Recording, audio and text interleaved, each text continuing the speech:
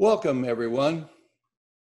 My name is Dana White, and today we have the extra special pleasure of a new series that we have launched, that Will Linn and I have launched with Dr. Dennis Slattery. Uh, this is just more special than you can possibly imagine. And as a way of opening this up, as you know, we have been producing, Will Linn and I have been producing the Myth Salon for about four years. And it suddenly ramped up during the time of the coronavirus, where we got, we're doing myth salons every other week now. And we've had interest in other faculty members like Lionel Corbett, we're doing talks with. And now Dennis is coming on board to do these. At the end, we'll tell you a little bit more about our plans for a continued session with Dennis. As part of what came about, I was introduced via email uh, by Connie Zweig to Clyde Ford, who famous book, hmm. Hero with African Face. So I have been I have been trading I have been trading emails with Clyde because he's going to come and join us for our myth salon. Title of his new book is called Think Black. And it's so relevant to what we're experiencing in our country today. So I thought I would read you a little poem. I have always thought, I thought in color, dreamt in waves of blue skies, rolling green landscapes, rainbows, and shapes of puffy white clouds forming themselves into animals. But then I realized that textures, dirt and grime and grit, they don't penetrate my mind's world until I allow the outside in, until touch and contact become real. And I learn to feel pain, pressure, and love until I become wounded. Love is the fingerprint of your edge and mine making contact. The definitions and separations blending into one another. I imagine ways for one thing to become another for change and transformation to pen the script of my soul's narrative, for me to try you on for size and to walk a mile in your shoes, to trespass the boundaries of my psyche, to learn the language of your vulnerability, so together we can construct trust. I seek ways to combine all the colors, to trash the ideas of purity, whiteness, and singularity, I want the colors to combine, yet preserve their hue, their uniqueness, as if the one in everything can express the all in one. A community is like a great chain of being, where shared essences course through the veins of the body, an organism with a heart beating that we are all implicated in one another like shards of the soul's code as necessary to one another as the sands are to the shoreline. So I'd like to do a real gratitude to Clyde Ford for his book, his works. I encourage you to look on Amazon for the full breadth of what he has written. He's a great man. And so, with a little bit at the welcome, I would like to turn it over to my good friend and colleague, Will Linn. Let him say a few words, then each of us will go around. And then we'll sit back and bask in the wisdom of Dennis Slattery. Thank you all. Thank you, Dennis. Um, and uh, yeah, I'd, I'd just like to, what we're going to do is we're going to, each of us is going to introduce uh, why we are here, uh, John, Dara, Kwame, and, and Dennis, and why we want to commit our time to doing this uh, series of conversations with Dennis. And for me, there there are really four reasons. And uh, the first reason um, is uh, well, actually, I'm going to come back to the first reason. I want to respond to what Dennis just, what Dana just said about Sangha, about community, because that's really one of the primary reasons why I'm doing this uh, for community, for the community of the six people on this screen, and for the community of all the people that are joining us now. Uh, this is uh, this is that's one of the main reasons I'm doing it. Is it, it just feels good to be uh, with a community, and and I think it's it's one of the three necessary things to progress with a spiritual life for a reason. Um, so the second reason why I'm doing this uh, is is plain and simply uh, Dennis. It's just Dennis because really um, going back to his classes at Pacifica, it was sitting in Dennis's classroom that made it so that that made me like you know when you feel like you've drank too much coffee but you can't move and you can't talk but you're sitting there and you just have this like what do I do with this energy? Move to California. I got to move to California. And I moved to California and I think I, eh, honestly it was the the excitement I had in every one of Dennis's classes that that confirmed that conviction that I needed to get out here and it's the energy that he stimulates and it stimulated in me that that is one of the probably the biggest reason why I wanted to do this uh, and want to support Dennis doing this. Um, the third reason is uh, conceptually just I think that our world uh, benefits from more mythology and more mythopoesis. I think our world benefits from a more poetic relationship with nature, with with its with the world, a more symbolic way of seeing things and reading things. And I think that Dennis is a, a true teacher uh, in in leading us into that relationship, uh, more mythopoetic relationship with the world.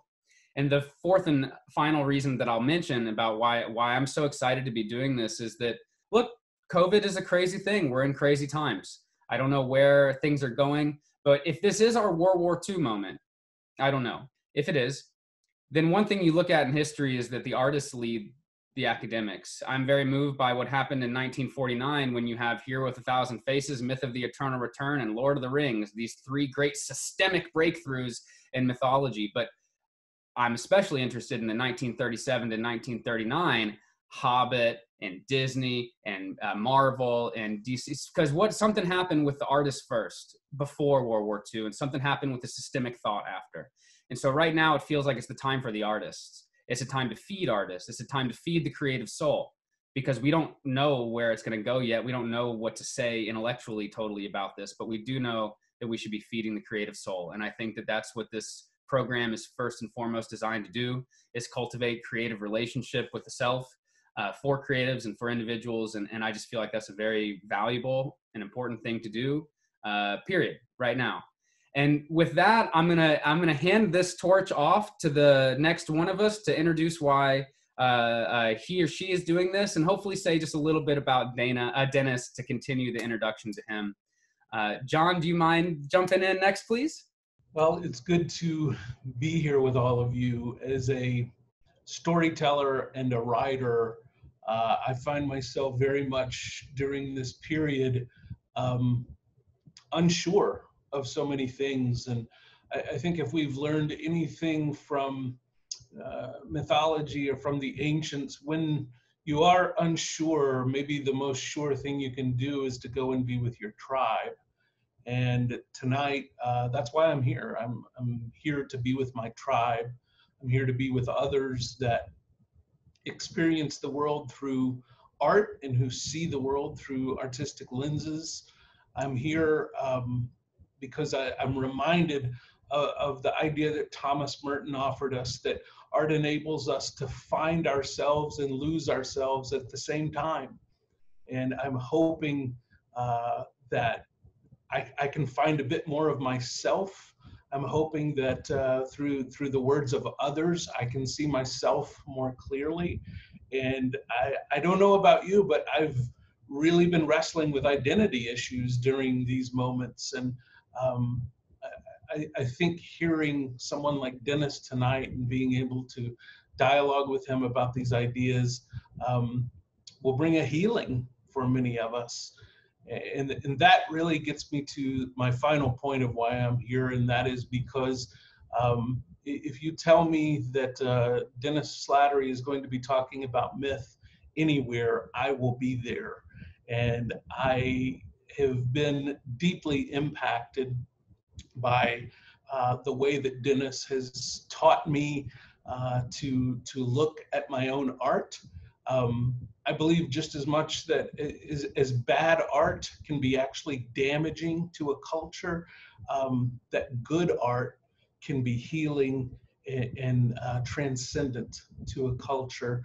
And we need more voices like Dennis who can lead us into good art, better art, and to help us appreciate and promote uh, the type of art that our world needs right now. It's an honor to be here tonight.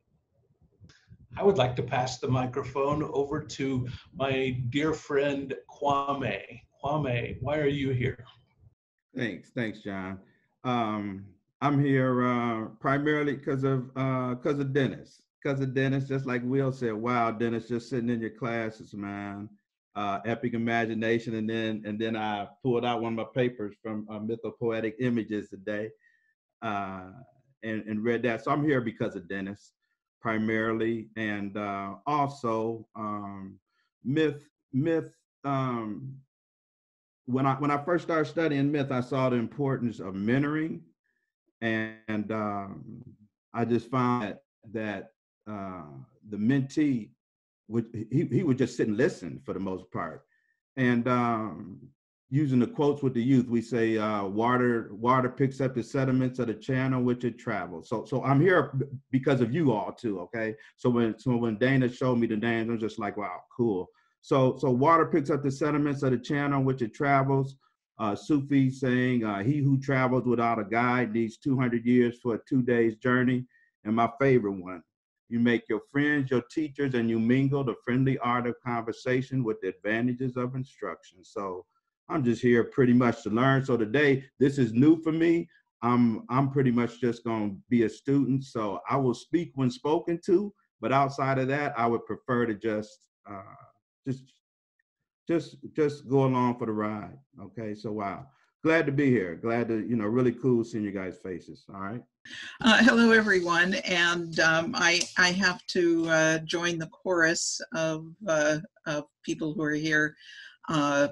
Because we are so privileged to have Dennis lead us again. Um, uh, I, I remember every time I was in Dennis's class, I would arrive that day not knowing where I would go, but very sure it was going to be a great trip, great journey. And I'm sure I will not be disappointed today. Um, I was really thrilled when uh, I heard from Dana and Will uh, that they were setting this up, and uh, I was very honored. They asked me to to uh, join the panel. Um, uh, I, I, hope as most of you know, I, I, I work as a story analyst. And um, one of the things that I have uh, observed in my work throughout the years is, or at least I'll tell you, this is my, my prejudice, my bias towards this, is that um, in the same way that, that uh, the psyche communicates through its through our dreams, I really believe our culture communicates through our stories. And um, if our if our if our psyche is is hurting we seek help you know we we have we have therapists we have uh, uh, friends we have counselors uh, wise men and women who who can help us through it but when our culture is hurting um, and it is speaking through its stories my question is who's listening? Who's paying attention?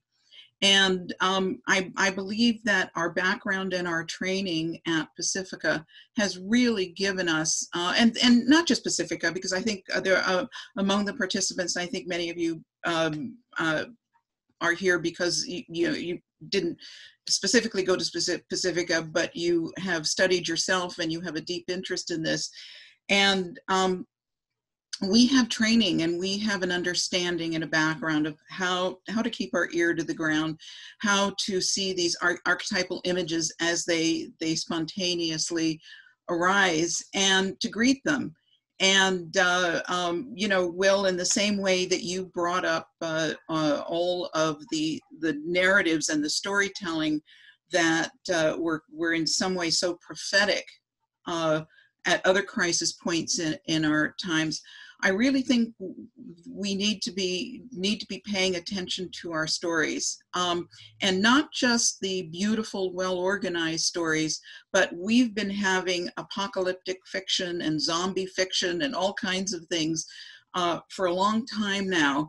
And uh, uh I think there's a very clear voice speaking through a lot of this material that we have to get past the sort of the uh, literary judgment and uh, be listening more deeply because there are there is information about fear and horror and um, uh, feeling lost and feeling disconnected.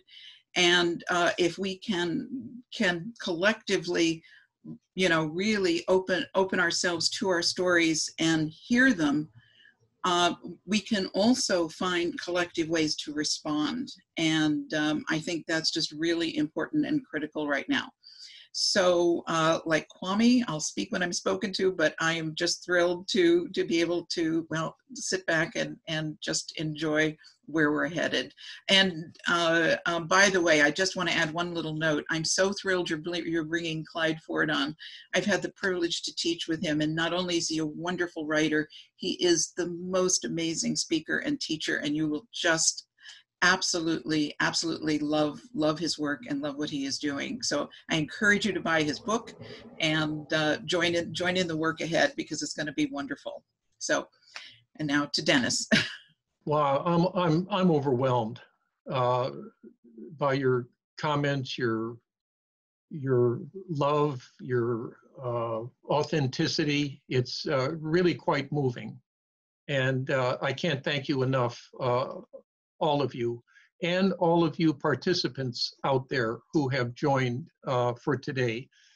Um, I'm just very excited to present, um, you know, I hope for uh, several uh, meetings. And as I mentioned to Will this afternoon, um, I've done a lot of writing and publishing, but there's so much that I've written and published that I've never had an audience for uh, where I could present and then receive some responses on how it's working, how what it's bringing up for you. So um, it's like a new medium uh, for me, and so I'm just very grateful. And to Dana and Will for um, orchestrating this and setting it up. And just I, I just want to underscore too the context in which we're all here uh, an explosive pandemic that is getting legs under it that um, couldn't even be foreseen. And the uh, I live in Texas, uh, about 45 miles north of San Antonio, and about 50 miles south of Austin. And so we're in the thick of it. And I count my blessings that uh, two weeks ago today I had gallbladder surgery and the hospital um, occupancy was modest. Uh, today, they're all but filled. And so it was um, a, a, bit of a rough time, but nothing like today in the state of Texas uh, if one has to be hospitalized uh, for whatever reason. So um, I just want to acknowledge all who have died and all who have been infected, and that we keep them in our prayers and in our thoughts. I want to begin with an image, and I'm going to hold it up. So this is this is an ammonite uh, pulled out of a desert close to Morocco, and it's estimated that it's seven million years old. And it's uh, one of the most beautiful spirals. I'm trying to get the light not to hit it so that you can see it. Here's the backside of it. Uh, kind of crude, kind of coarse. But then when it's sliced open, it creates this ma majestic aesthetic image of the spiral. And I don't know why, but I began using this uh, when I would offer writing personal myth retreats and I would hand it to the person to my left, and he or she would hold it. And I asked them, just look at it for 15 seconds. Introduce yourself. Um, maybe make a comment of uh, how you've been occupying your life, and maybe one thing that you're thinking about wanting to get out of this, usually three days, uh, three and a half day uh, writing retreat. So hundreds and hundreds of participants have handled this. And while you can't, I just ask you to imagine, if we had the time, uh, for this to be passed to you and you identify yourself uh, to the group. It wasn't until several years uh, after I began using it that uh, I came across in the um, uh, dream seminars, 1928 to 1930, in which Jung is with two um, colleagues and they're working one dream after another. And the dreams are short, two to four sentences. Well, I'll never forget on page 100, left side of the page, Jung is riffing off of a dream that uh, has been presented. And he makes a, an allusion to nature. And then he says the following and I have it pretty much memorized.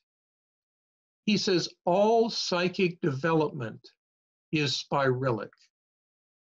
We are always folding back, but we can't land on where we once were, but we can land a little bit above it or a little bit below it.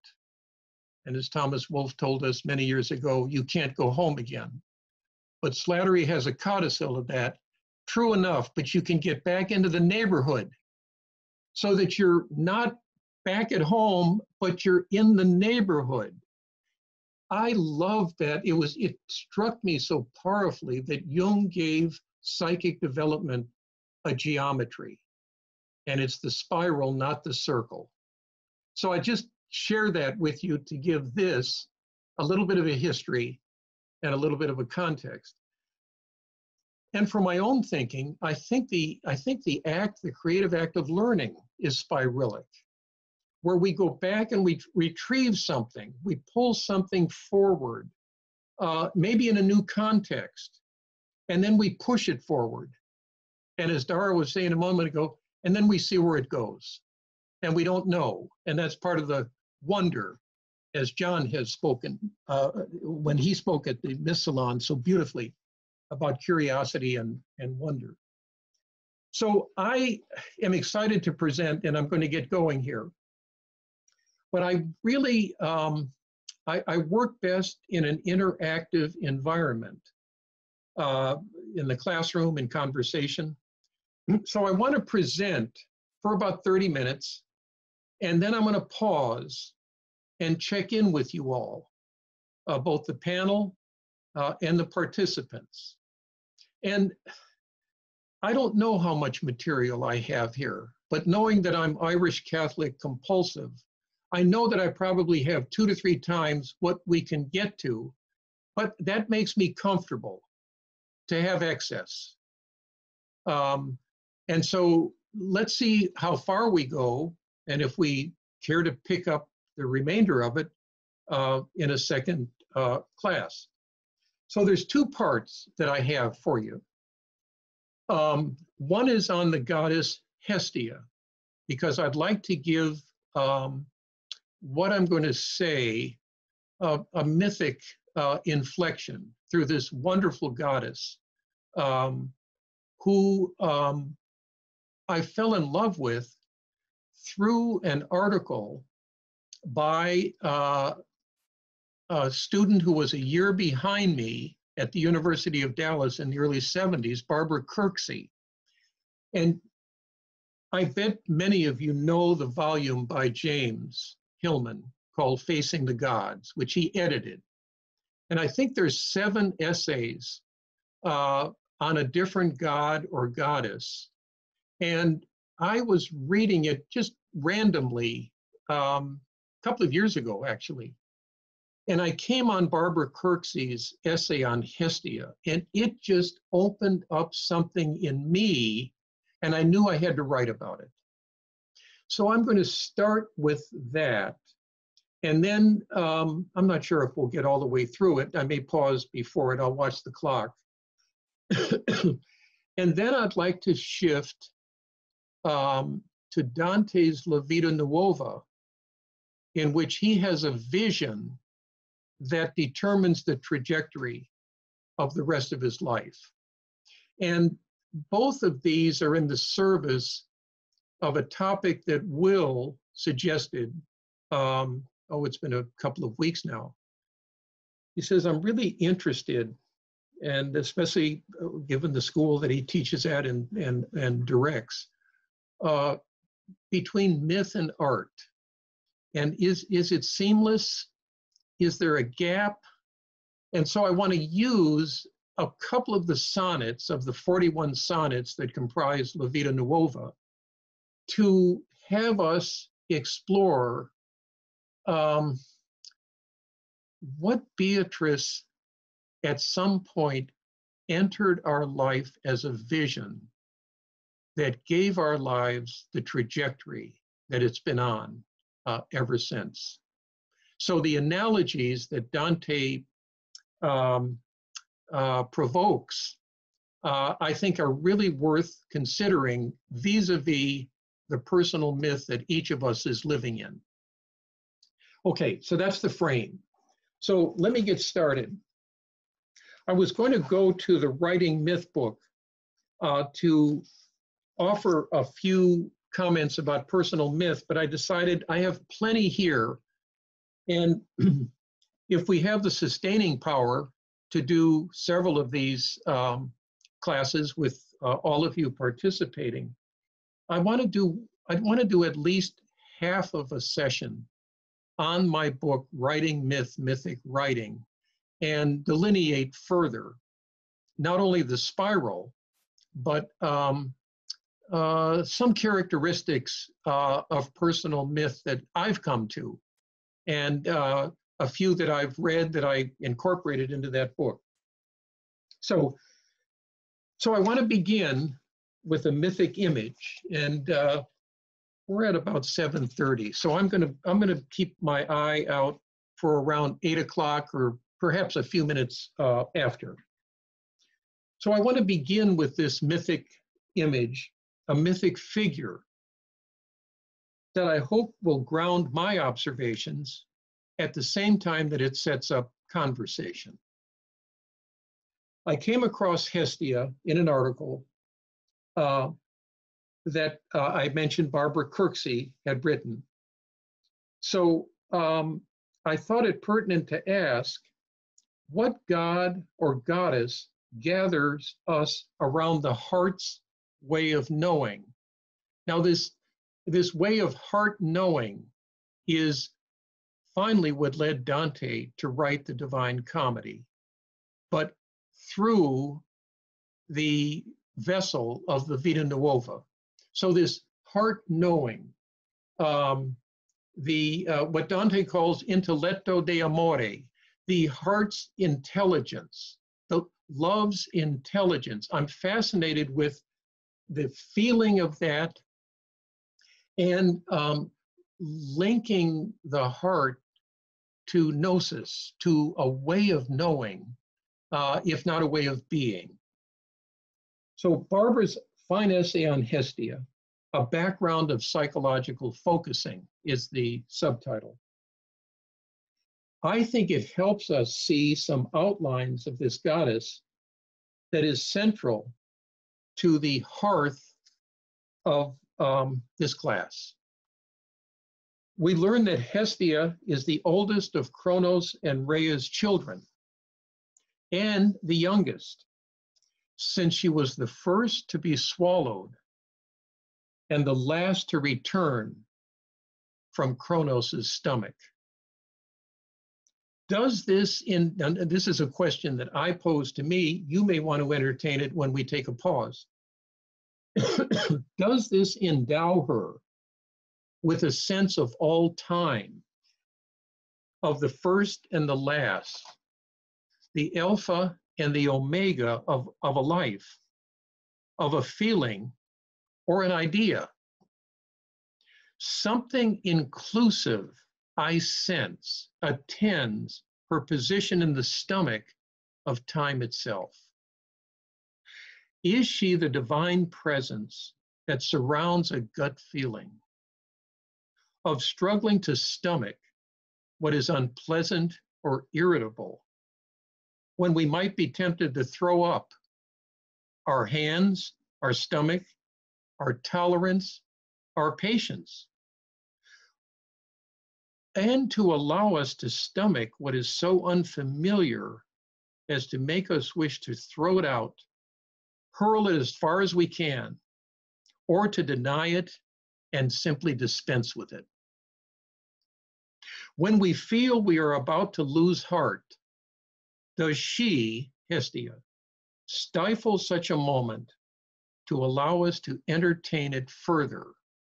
And I'll say something in a moment about Hestia and her ability to entertain. And if you don't mind, I'm going to pause once in a while to take a sip of uh, hot tea.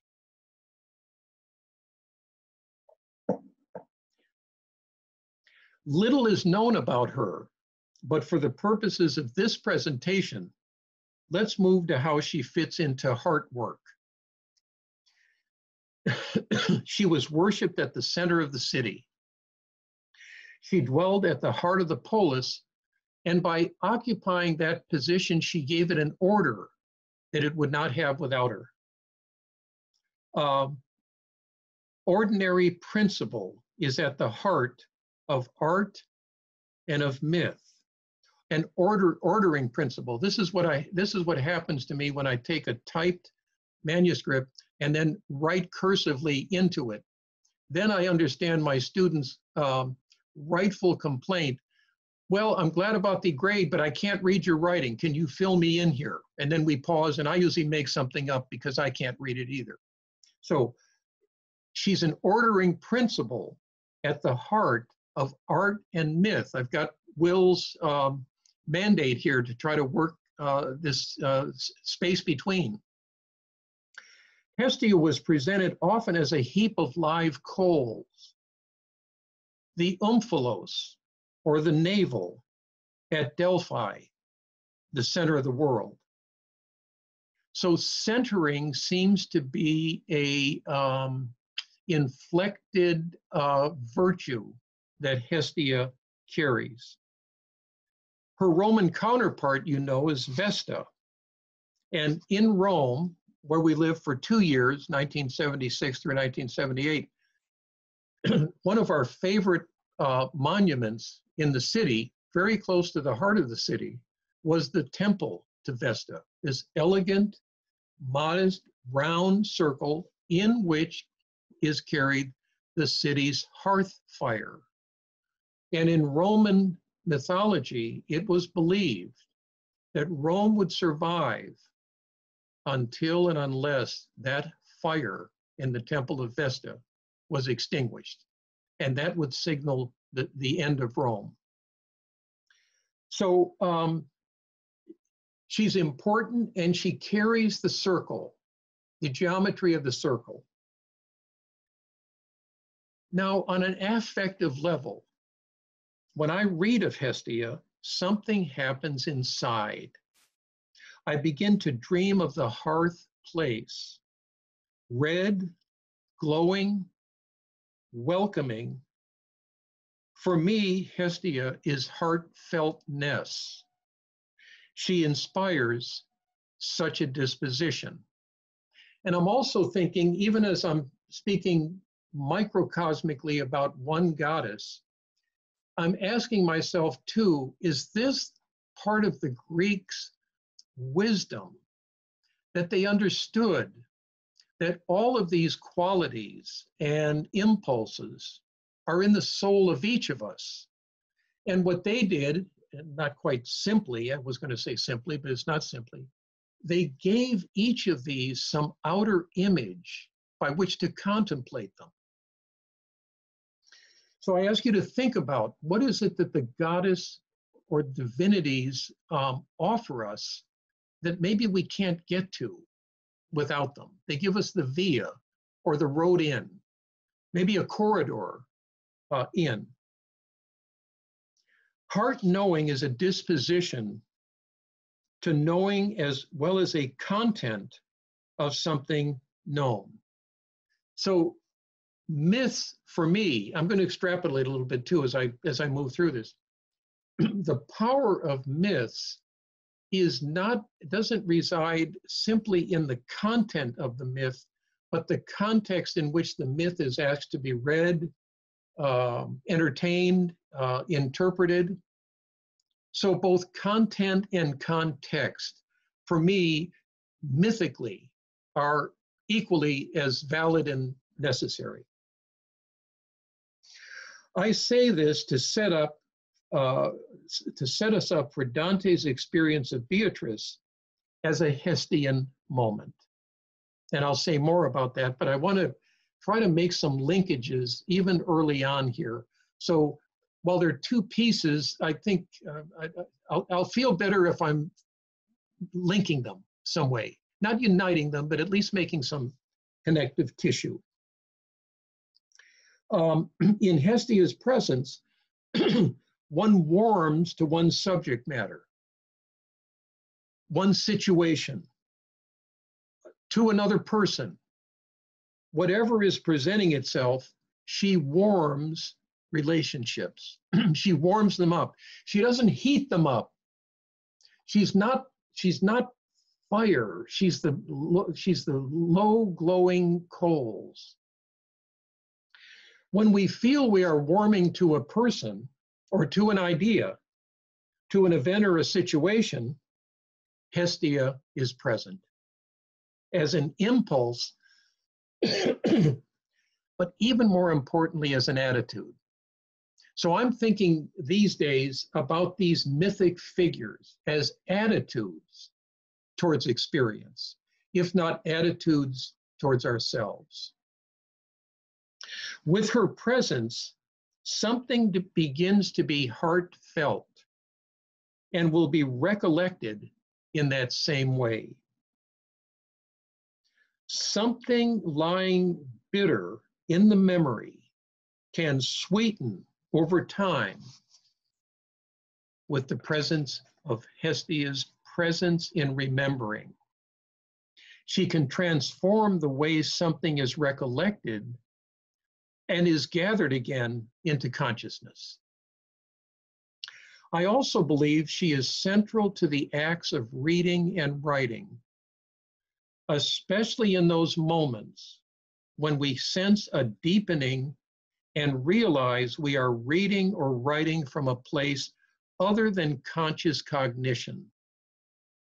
Something else enters, some other way of evoking ideas, new insights, and feelings in these processes. Hestian moments were in the heart, the heart is allowed in. Feelings themselves ripen into insights. I want to read that again. Feelings themselves in Hestia's presence can ripen into insights. In writing these words, I tried to give myself completely over to the presence of this marvelous feminine figure in the Greek pantheon.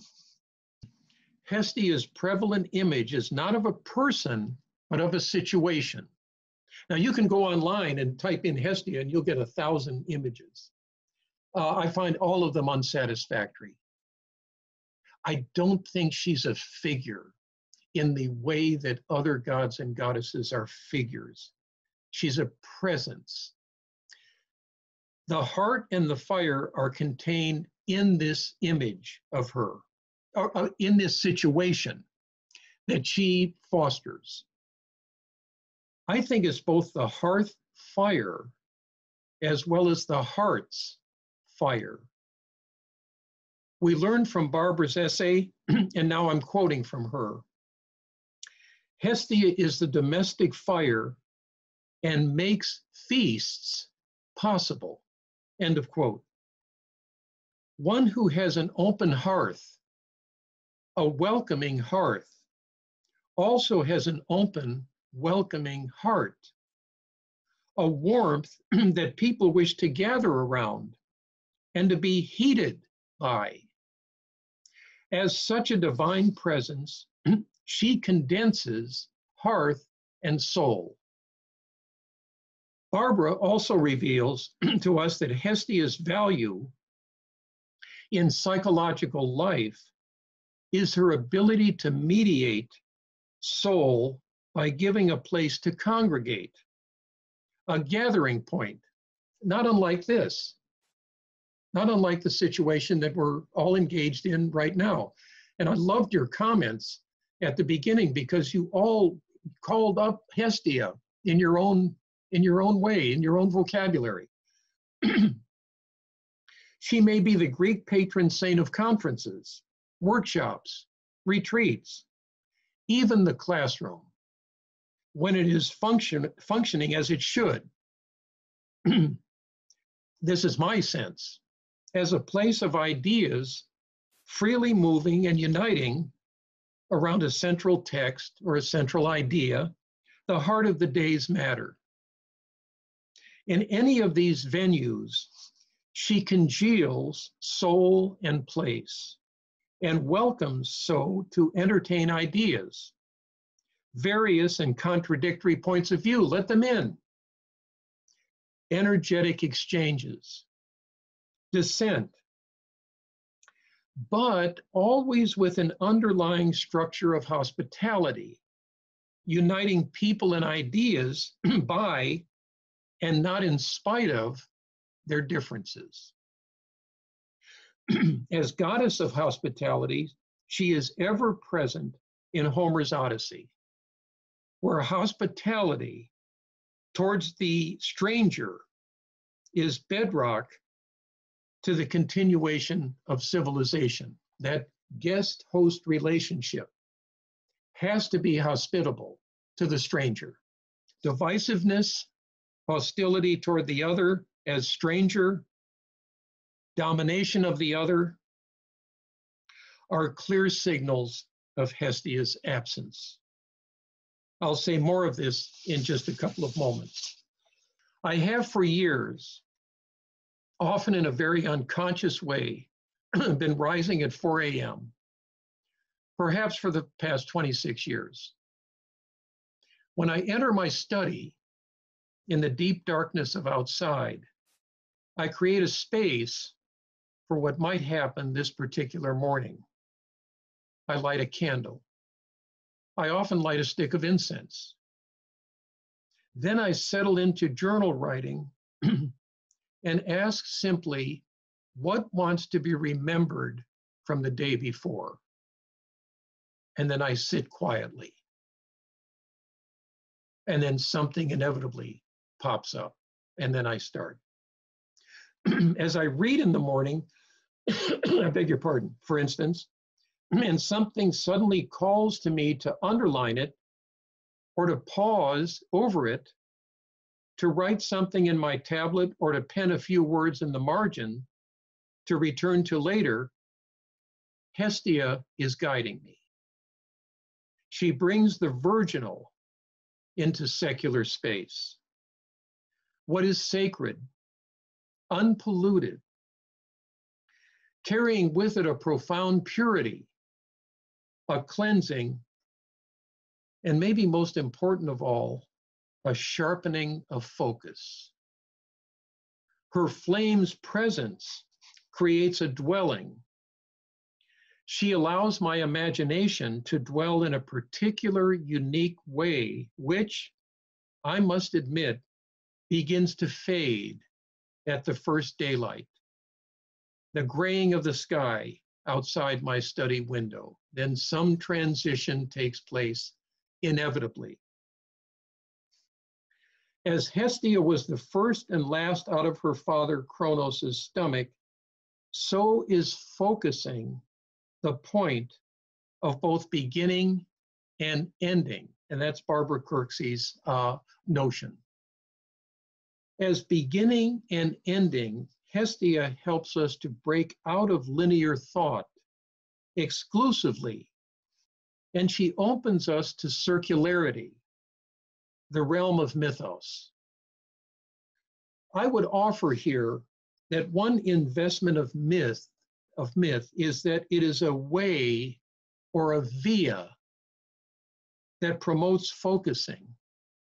What allows me to focus on anything is the myth I'm in and perceiving by means of. What I focus on is mythos. to bring an image into focus situates it at a place where it produces itself repeatedly.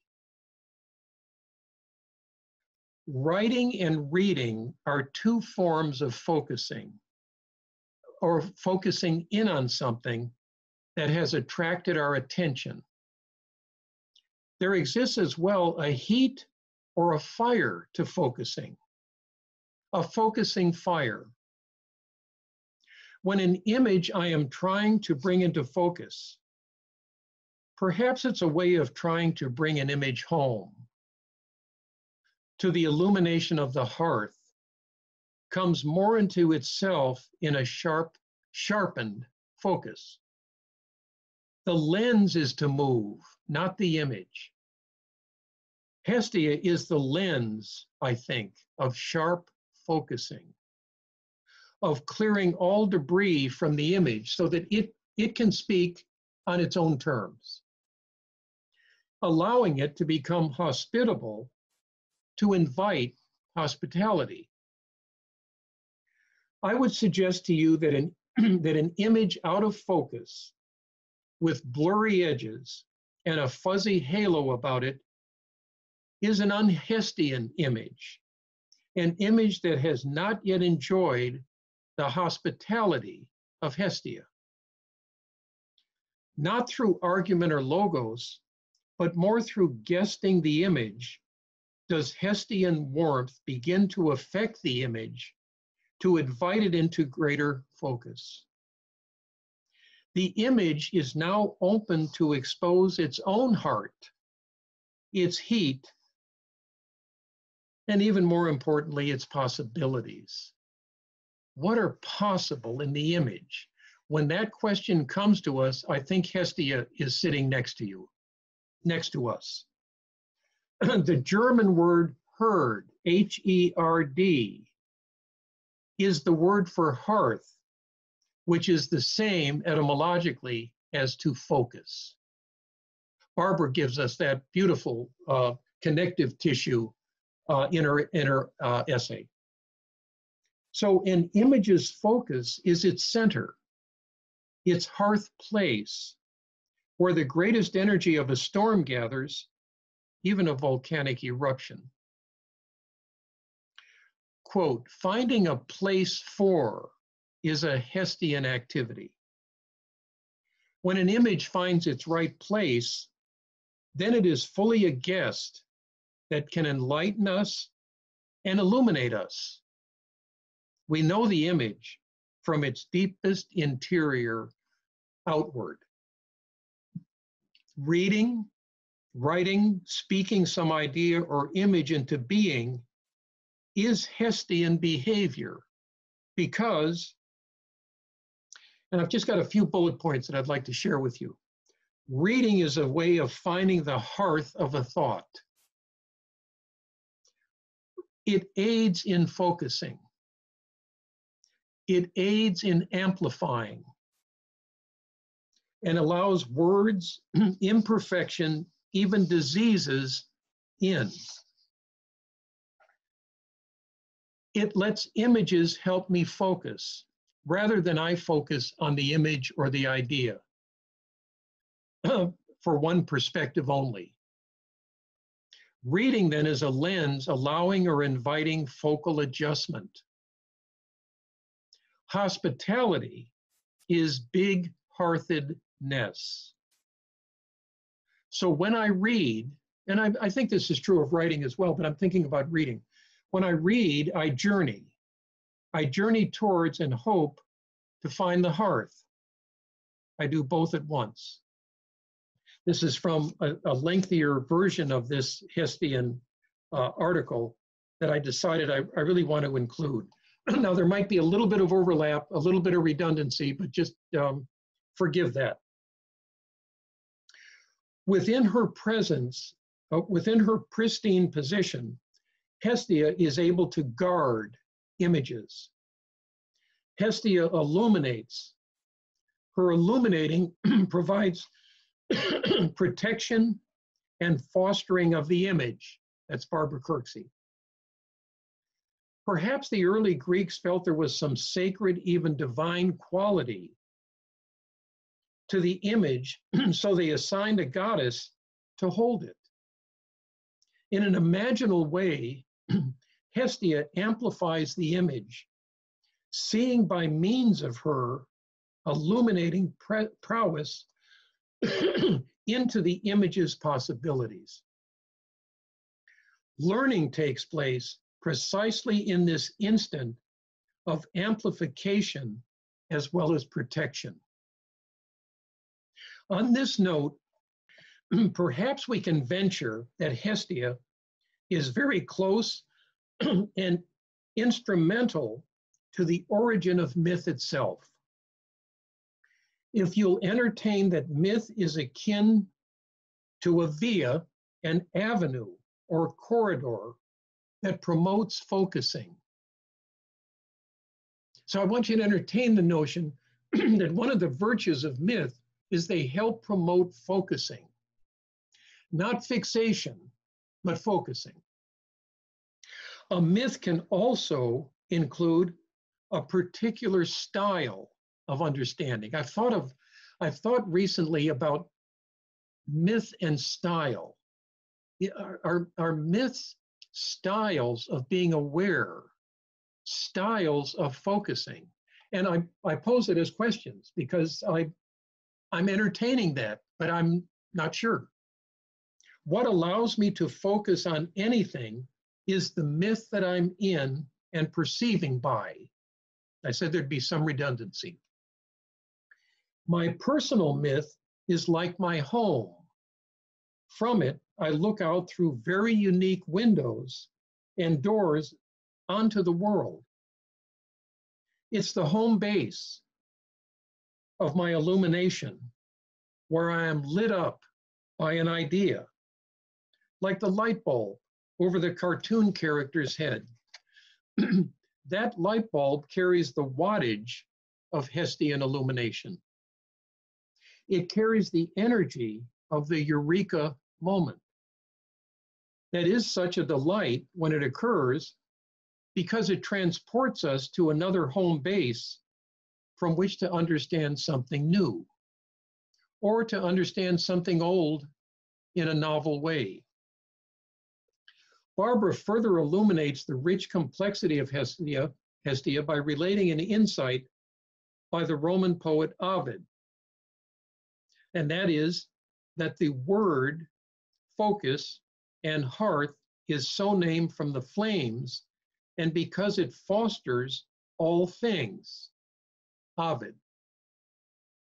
To continue the idea of myth stated above, what allows me to focus on anything is the myth that I'm in and perceiving by means of. Myth may be understood then as a focal plane and a focal point. It is where energy gathers to make something meaningfully and often originally present. Hestia is a goddess of presencing, of bringing into view, of crossing and pausing in my field of vision. Any of us can experience moments in our lives where our trajectory, our purpose, and pursuits are all out of focus. Art, poetry, therapy, writing, painting, conversation are opportunities for regaining our focus, which is to say, our purpose absent any tincture of Hestia, a life can become out of control, unfocused, without direction, and empty. We are not home any place under any circumstances. And so we wander in the world orphaned. That's an unhestian life. Self image, then, may at times appear and feel distorted, indistinct, or simply in opposition to our earlier image of ourselves. Sharpening our focus is a form of remythologizing our lives, infusing it with clear purpose and vision. And that is starting to point at La Vita Nuova. Barbara believes that, quote, returning to an image again and again from various directions is an attempt to focus. It's an attempt to find the fire of the image, maybe the fire in the image. This is imagining in a Hestian mode, she writes. When we repeat a thought, an action, an attitude, it has a chance to grab hold with ongoing energy. Hestia then is also part of repetition, of pattern constructing and pattern maintaining. Writing, rewriting, revising are Hestian behaviors. For in the rewriting, one's focus sharpens. Fire, light, illumination clarify. They show boundaries and borders. They make a crisp image, rich and subtle. A certain clarity promotes nuanced and subtle seeing. Hestia helps us nuance the things of the world. She may be the source of nuancing itself. Uh, so she helps us nuance the things of the world we focus on and find important, even indispensable. I would add that, like writing and rewriting, reading and rereading are also Hestian. Repetition to sharpen and deepen our understanding invites Hestia into such a place. When we reread, for instance, we see details, connections, and associations that the first readed, reading skidded over and just missed. Rereading, I have found, is never just re, a doing again. It is a movement into the unfamiliar because we are now familiar through the first reading of what is present. Now we can focus on what was not there in that virginal reading.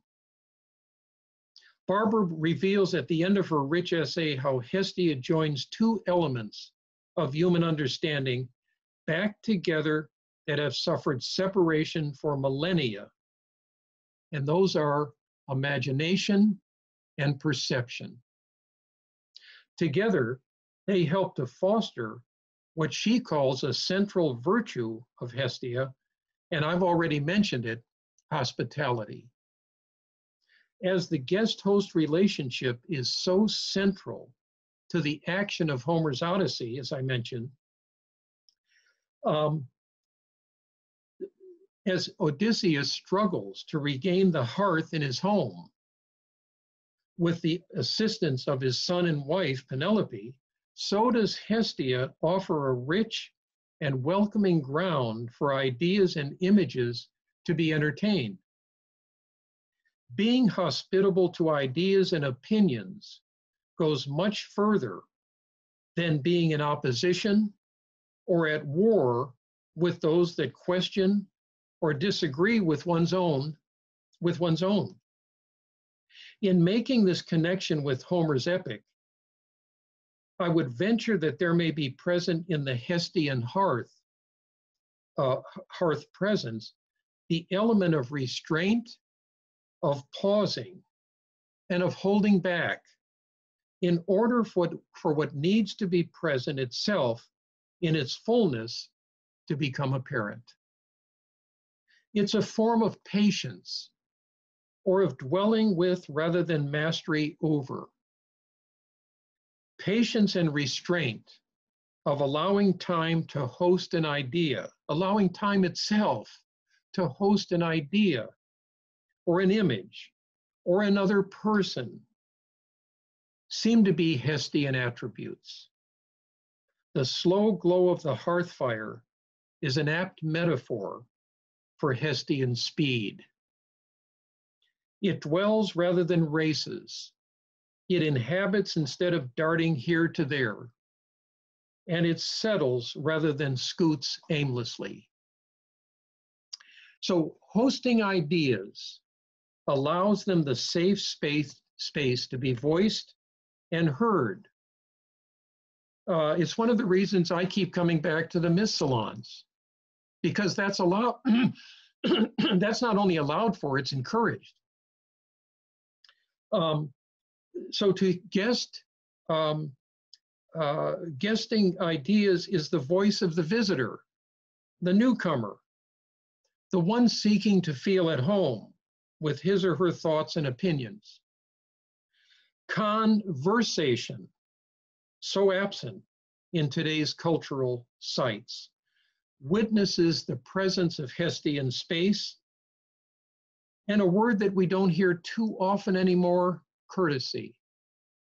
A word whose etymology returns us to the heart. Courteous acts like listening and then speaking without attacking or colonizing the other's understanding evoke the presence of Hestia. In authentic conversation, we adjust to the other's thought, insights, speech, or writing and they in turn adjust to ours. Not agreement necessarily, but perhaps a certain consensus is the offspring of Hestian conversation.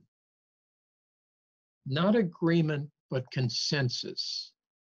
I think they're I think they're different in uh, some important ways. Hospitality then is an opulent form of big heartedness. I think it takes a large heart or great souledness to listen with real attention to another without violating that space with one's overriding opinion or response. Warming to the other's ideas is not synonymous with surrendering to them or to pretend one agrees. Rather, it is to allow the fire of their own perspective to infiltrate and perhaps modulate our own stance. Allowing such is a grandly hospitable endeavor that allows one to dwell with a contrary point of view in apposition, not opposition. in his lead article on the necessity of abnormal psychology, Ananke and Athena, James Hillman posits this bold and provocative insight. Here's what James writes What the gods show in an imaginal realm of myth is reflected in our, in our imagination as fantasy.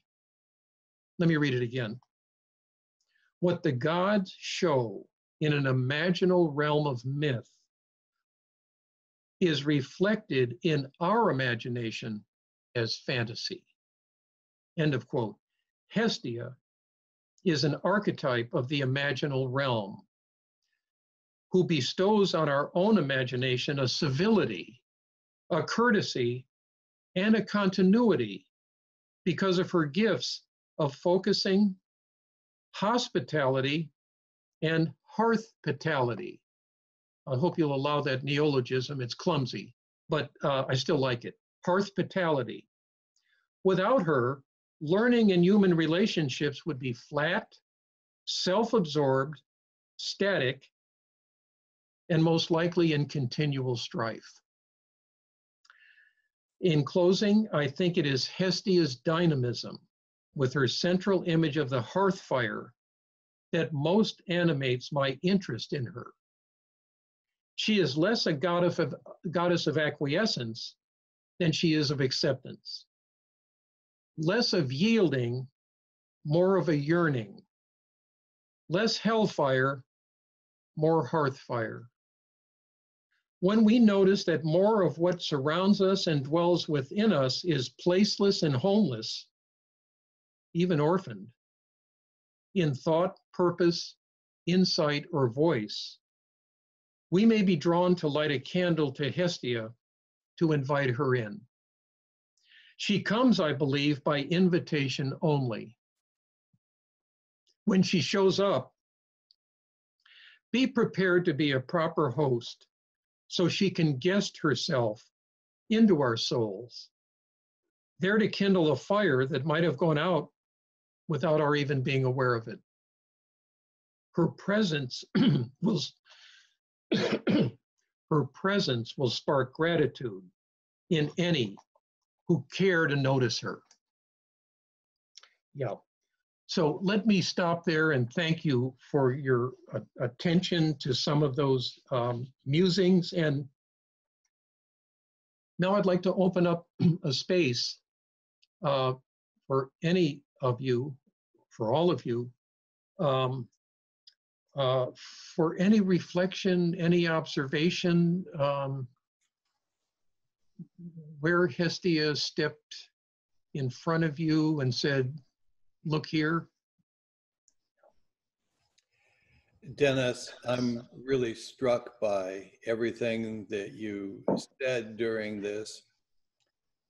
And the thing that occurs to me in talking about Hestia is that her forms of expression are more about being rather than doing.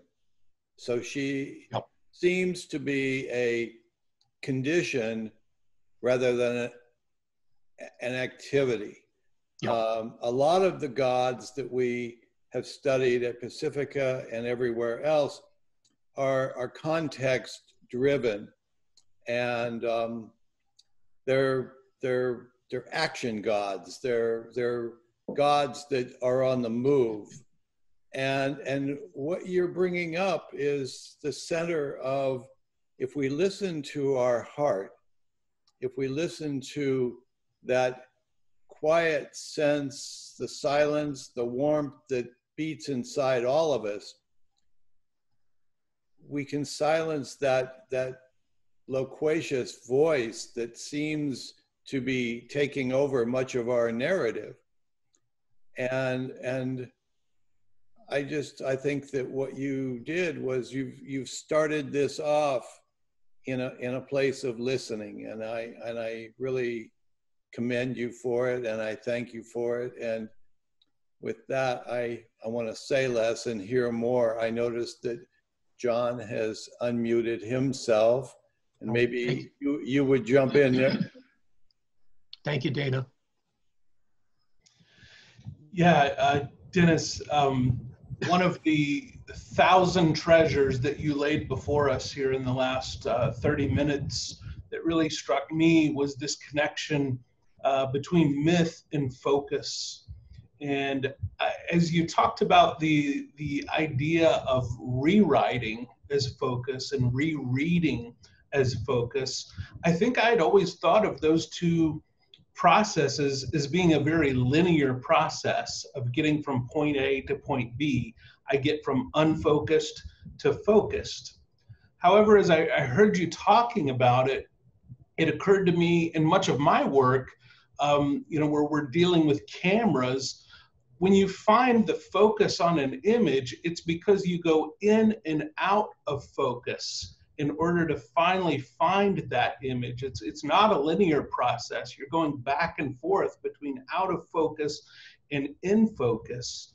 And it, it was comforting to me to hear you say that's, that's part of uh, the process, you know, in rewriting and in rereading. I just wonder, could you speak to that just a bit more?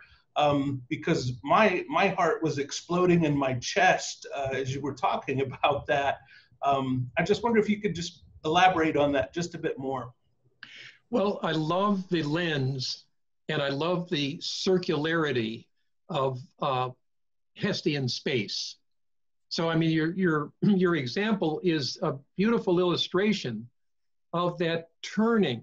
And, you know, even as I'm doing this and seeing myself in the mirror of the screen doing this, this this is already starting to implicate the spiral. You know, it's that turning back and forth. So the reality blurs, then it, uh, um, what did Leonardo, I just finished the uh, Walter Isaacson's magnificent biography, uh, 600 pages of Leonardo uh, last night. And uh, he, uh, Isaacson is so beautiful in reading many of Leonardo's paintings. But Leonardo perfected the sfumato, S-M, S-F-U-M-A-T-O,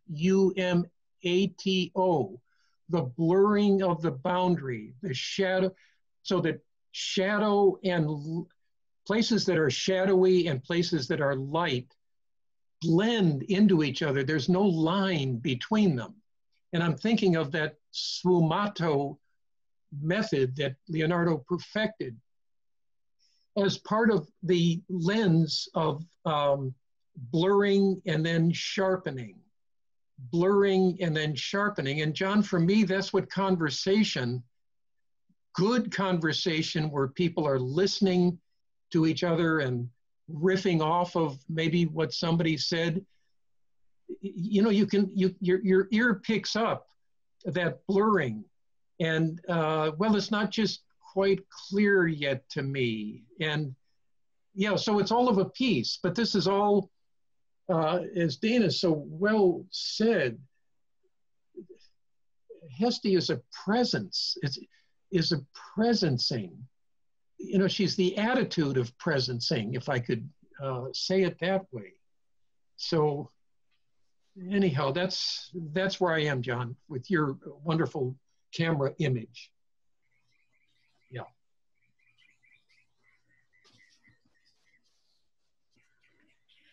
Um, you know, uh, as uh, as we were diving, thank you, Dennis. That was so uh, took me back. so so so glad to uh, uh, be listening again. Um, you, Sarah. Uh, you know, I, when we talk about the subject of mythopoesis, I, I, think we have to be aware that it's not a thing. it's it's not a it's not an act you consciously do it, it's the idea that just in the same way individuals individuate and grow, so the culture grows as well. And so the stories we tell are going to, to uh, reflect our transformation. And um, uh, I, I posed at the beginning how um, our stories are how the culture shares shares you know shares its pain shares its hurt shares its identity and so on and so forth. And uh, something so something in all of that really struck me in what you said because this idea of re-listening that um, the stories are there. In other words who we are as a culture where we are is self-evident. If if you're if you have the capacity to to read it and and and see and see it for what it is. And as i i pose the question you know who who is doing that? And i think a lot of us are stuck on the first read. And so we are very limited in our view because our first read tends to be through the filter of our own bias. And so we only hear what we hear you know and we we aren't we don't have have much of a capacity to see what the heart wants to tell us. And in particular, it, it just made me jump over and think about uh, uh, when Kaepernick took a knee and um, uh, how, how the story that got associated with it didn't want to acknowledge what it was. It was limited to its own view of, what that was and uh, the story of Black Lives Matter and the stories. It's we have to re-listen because in in in not in not having the capacity to see through what is going on and what it's telling us about who we are and where we are going um, we we're we're not moving with with the flow of energy. I mean and that's you know that's what transformation is. Um, transformation takes consciousness and it takes it, it takes effort applied over time to transform.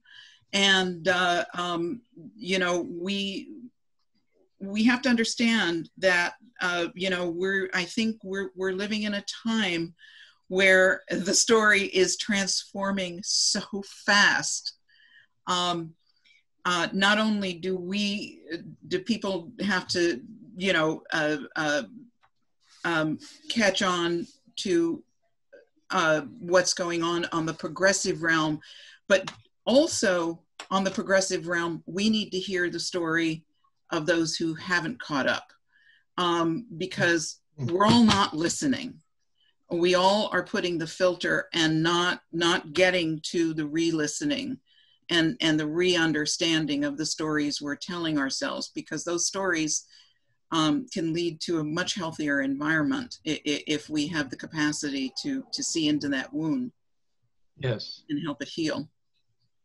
The image that came up uh, as i listened to you dara we used to we wore them in cleveland right by uh, lake erie the fr frozen bitter winters these big mufflers uh, on our heads, sometimes mm-hmm. with a wool cap, maybe, and then the mufflers, or or earplugs. That's what ideologies do. they stop us from being able to hear anything that is not ideologically inflected towards what our ears are accustomed to. So, yes. And so, how to, I mean, I don't want to go to how, I don't, but breaking through. Um, can I can I comment on that? Uh, the only comment I will make is that I remember once uh, I, I, was in therapy and I was very frustrated because I, I don't remember even what the issue was, but I was frustrated that I that I didn't feel I was being heard. I remember this was great advice. My therapist said to me, she says, just keep saying it over and over as unemotionally as you can and you will be heard you know it will be heard. And i think that that's that's a that's really great advice. We can't give up on the narrative. We can't give up on the story. We can't um, the, i mm-hmm. also wrote down as you were talking um, using the whole image of hestia minding the fire because um, if we are persistent the, the idea will catch fire and we're seeing that right now. We're seeing that right now with the Black Lives Movement. Um, yes. Yeah, yes. and, and uh, um, I, I think example. we we just we have to be persistent. We have to be persistent to hear the story and to tell the story. And to tell the story. Very nice. Yes. Yeah, beautifully said. Yep. Well, I just wanted to jump in on that portion about the uh, the system and the way that the systems can get uh, uh, like mufflers where you stop listening to things outside of the system. So, you know, if you want the system to be ordered, you want it to be as cold as possible. Because when it's cold as possible, every piece in the system, if you get to the Bose-Einstein condensate, when things are so cold that the electron can't even stay separate from the proton, boom, right? It's so cold mm. that the system becomes so ordered, right? So, but when it when the system is so ordered, there's no individuality left inside the so there's something interesting about warm if the system can be seen as the home as the the macrocosm as the space yeah. and the individual as in that space then a frozen system has no lateral freedom for the individual. And a warmed system uh, is a system where things can move around. We're not in, we're not in a solid state. Yeah. Yeah. Yeah. A great great analogy will. Great and analogy if I can keep building off that, part of where that comes from is uh, um, I'm listening to you. What I'm thinking about a lot is the relation where Hestia seems to, in some ways, represent the relationship between the macro and the micro, where the big picture pops into an insight and you see the system and an idea. Where you know the world becomes the world navel, where the hospitality of the the space to the individual, right? The yep. feelings, the big feelings become the focused insights. Uh, yep. The home becomes the focused hearth. The Rome is represented by the fire, and the heart knowing may actually even be something like that. The, the knowing that is the relationship of the micro to the macro, the knowing of the macro through the micro to know the macro, uh, or some, something like this. Uh, the polis and the hearth and so anyway i just wondered if that sounded sounded resonant to you that that hestia kind of maybe re- represents the dynamic relationships of the whole with the individual and the individual with the whole the world with the micro and the macro with the micro I think that's the big heartedness of Hestia. Hmm. That there's space for all of that. And there isn't a selecting process. And one always has to ask who's doing that selecting, as Dara was uh, uh, implicating uh, just a couple of minutes ago. But I think that's the beauty of her generosity as a presence and as an attitude that if if the space if the space stays loose enough and elastic enough that other possibilities see oh there's there's uh, some space for me in this. Um, I, I think that's when learning you know is one of the times when authentic learning really takes place. And it's that it's that open heartedness to other possibilities. And as i mentioned not that you then yield to it because you may feel well i don't i don't buy it but i want to hear you articulate it. Well there's hope there yeah there's hope there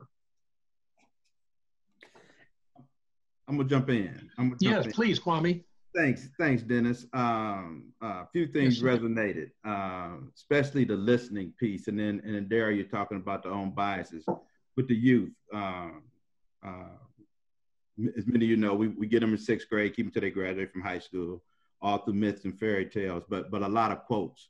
Uh, Daryl, you're talking about the own biases. Uh, few of the quotes we use, they say, uh, "Only an open mind can contain the secrets of the universe."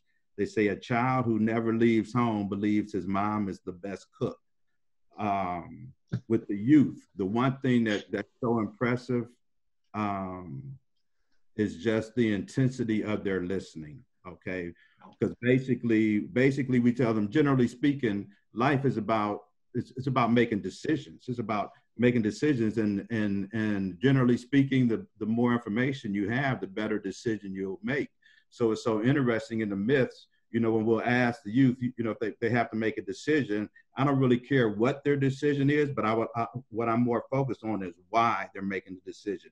And then for them to listen to the other youth and listen to their rationale. And one of the most rewarding things is to hear one of the youth change their mind based on listening to somebody else. So yes, I mean, Yeah. it's just important. It's just the importance of listening is just so yeah another thing, Dennis, that you were saying uh, uh, that resonated was uh, the importance of the, the the relationship between the guest and the host.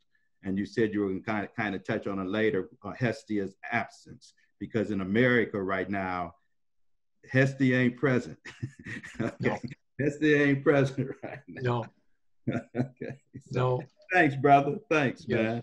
Yes, thank you for that, uh, Kwame. Anybody else uh, out there? Should we, should I push on into Dante at this stage? No, Um, I, I am gathering a whole helping of, of questions from the audience. All right, then let me pause. Yeah, let me. Yeah, let me try and relay a few of those to you. Okay. Um, so, so let's see, a couple of these in front of me here.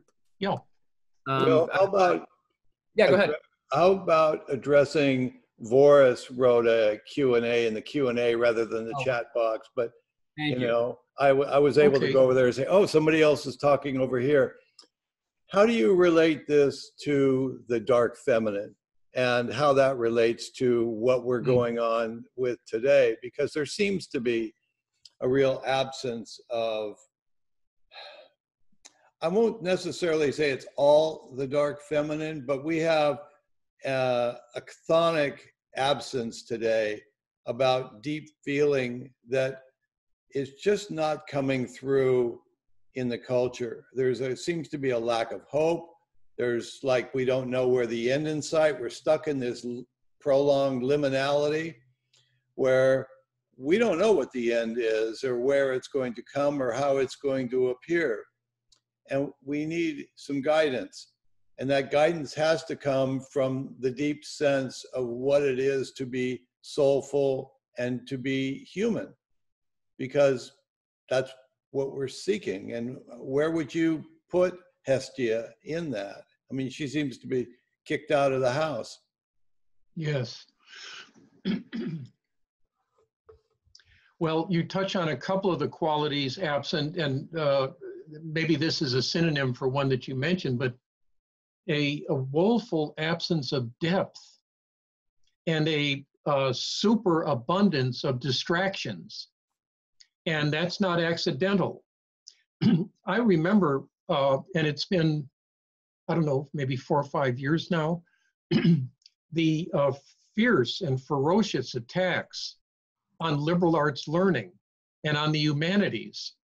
Now, listen to one radio show in which a man castigated and chastised the parents of a child who was majoring in art history. Mm. And he found that blasphemous and insulting. And he said, How economically is, is your child uh, going to support him or herself? I can't remember if it was a young uh, man or woman, uh, studying such nonsense. And I was just flabbergasted. I think I missed that transition. Um, but there have been a number of governors of states in the United States who have um, cut any funding for uh, humanities education. And of course, they're always after PBS and uh, NEH, uh, National Endowment. Um, I don't think one can have a consuming culture um, and a reflective culture. Uh, that there's a choice that seems to be pushed that has to be made. I don't quite believe it because I think there is a balance of both consuming and contemplating. I don't think they necessarily cancel each other out. I know that I'm not addressing the dark feminine. I'm not sure. Um, and I wish I knew more uh, that uh, Voris is uh, uh posing. And I, uh, I'd, love to hear from Voris and um, his thoughts on that.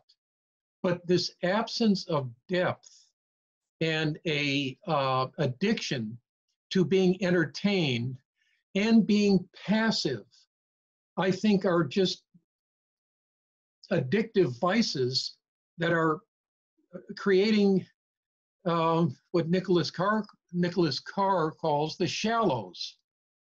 You know, I don't know if you know that book. He is he's brilliant on the way technology is affecting our brains, and he begins the book with a conversation of two Yale buddies from years past who made enormous fortunes in the dot com industry. And they admitted to him that they were incapable of reading a novel anymore. Because they said our world has been in bytes and bits and to read a novel is to retain what has happened to understand what is happening and maybe see what is going to happen. They said we're incapable of doing that anymore they said our brains have been rewired to the point that we can't even concentrate on something for more than a couple of minutes. And I just found his book apocalyptic in his insights. Um, so I think, and I don't mean to sound conspiratorial here, um, but it's engineered, it's being engineered.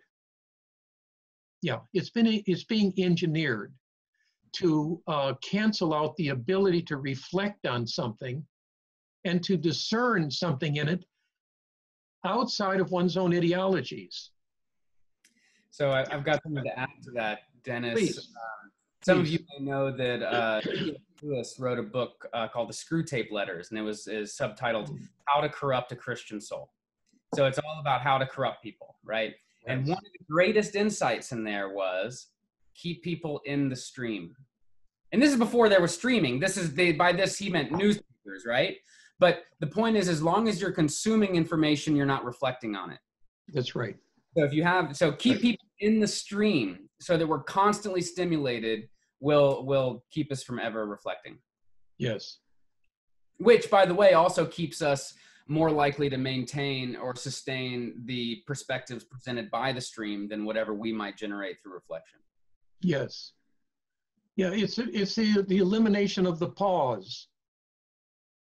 It's the elimination of the pause, so that there is no there is no dead air time, and I by that I mean a time to reflect on what what one has been taking in.